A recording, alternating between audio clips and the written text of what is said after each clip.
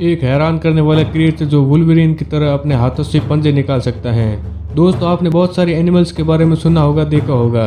दुनिया भर में कई ऐसे लिविंग ऑर्गेनिज्म हैं, जो पलक झपकते ही किसी की भी जान ले सकते हैं। इनमें से कुछ जीव कैनिबल होते हैं तो कुछ बेहद ही पॉइजनस आज हम आपको ऐसे ही कुछ एनिमल्स के बारे में बताने चाह रहे हैं। हैरी फ्रॉग अमेजोन जंगल वियर्ड एनिमल्स के लिए फ़ेमस है। वहीं पाया जाता है एक हैरान करने वाला क्रिएचर जो वोल्वरिन की तरह अपने हाथों में से पंजे निकाल सकता है, ताकि वो अपने शिकार पर हमला कर सके। इसकी मदद से वह अपने आप को प्रेडेटर से भी बचा सकता है। जब वो खतरे से बाहर होता है तो उसके पंजे अपने आप अंदर चले जाते हैं। द मिमिक ऑक्टोपस ये कोई साधारण ऑक्टोपस नहीं है। इट इज़ सैड इसके पास डिसिपियर होने की पावर्स हैं। इसकी मदद से ये छिपकर अपने शिकार पर अटैक करता है। एक्चुअली ये अपने बॉडी पार्ट्स को अपने आसपास के एटमॉस्फेयर के अकॉर्डिंग ढाल लेता है।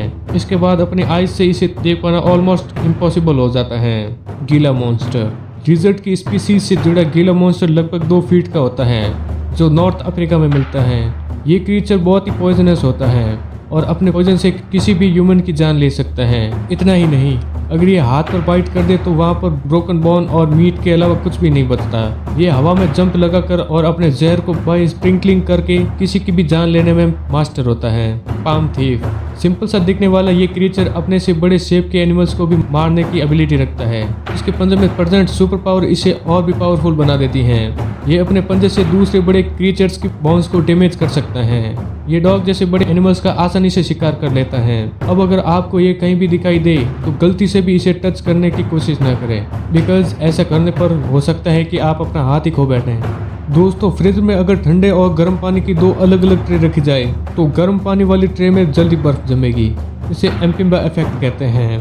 दोस्तों, जितने भी फ्रूट होते हैं, उनके सीड अंदर की तरफ़ होते हैं। लेकिन स्ट्रॉबेरी एक ऐसा फ्रूट है जिसके सीड्स बाहर होते हैं। हाँ दोस्तों, स्ट्रॉबेरी एक ऐसा फ्रूट है जिसके सीड्स बाहर होते हैं। मोटर व्हीकल एक्ट सेक्शन 129 इस एक्ट के मुताबिक भारत के हर एक नागरिक को मोटरसाइकिल चलाते वक्त हेलमेट पहनना ज़रूरी है। यदि किसी ने हेलमेट नहीं पहना है और इस दौरान ट्रैफ़िक पुलिस या कांस्टेबल आपकी बाइक से चाबी निकाल लेता है तो आप इन ऑफिसर के ऊपर कानूनी कार्रवाई कर सकते हो, क्योंकि ये एक गैर कानूनी तरीका है। पतंग उड़ाने के लिए परमिट होना ज़रूरी है। एयरक्राफ्ट एक्ट 1934 के मुताबिक पुलिस की इजाज़त के बिना पतंग उड़ाना अपराध है। हैरान हो गए ना सुनकर? तो जान लीजिए कि अब तक आपने जितनी बार पतंग उड़ाई है, उतनी बार आपने कानून तोड़ा है।